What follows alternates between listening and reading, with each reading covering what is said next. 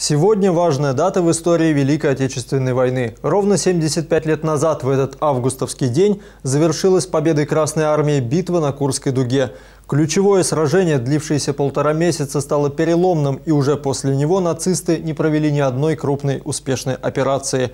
В Ленинском районе сейчас проживает три участника Курской битвы. Один из них – 96-летний Алексей Никитович Крыков.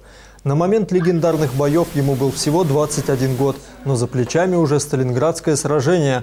А с июня по август 43 -го года сержант Крыков в составе 7-й гвардейской армии Центрального фронта сражался на полях Курской дуги и под Прохоровкой. Уже в самом конце этой битвы Алексей Никитович разрывом всего одного снаряда получил множественные ранения и был комиссован.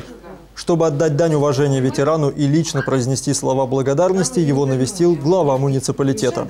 Приехал вас поздравить. Вот, пожалуйста, поздравительный адрес. Пожалуйста, это наши скромные подарки. Вот, чтобы вам теплее было. В дружеской беседе ветеран рассказал Валерию Венцелю об однополчанах и о тех страшных днях. Несмотря на то, что все связанное с войной пронизано горечью и болью, присущее ветерану чувство юмора не покидало его ни тогда, ни сейчас. Род войск какой у вас был? Пехота. Пехота была, да? Пехота.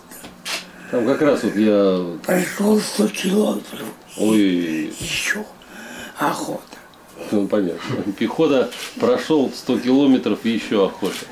К сожалению, Алексей Никитович редко делится воспоминаниями, но все же в минуты откровений он рассказывал своей внучке о том, что сила духа и любовь к Отечеству – главное оружие солдата. Я даже спрашивала дедуль, говорю, ну вот как, вот может быть, как в фильмах показывают, что кто-то стоял сзади, а, да, с а, винтовкой говорил только вперед. Он говорит, нет, у всех такое было положение, что все шли сами вперед, вперед за родину.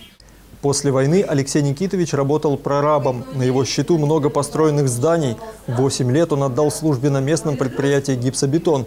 И, кстати, в нашем городе ветеран живет со дня его основания. Телеканал «Видное ТВ» присоединяется к многочисленным поздравлениям и желает ветерану здоровья.